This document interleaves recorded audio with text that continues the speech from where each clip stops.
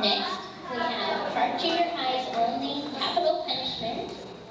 They will be performing Enter Sandman by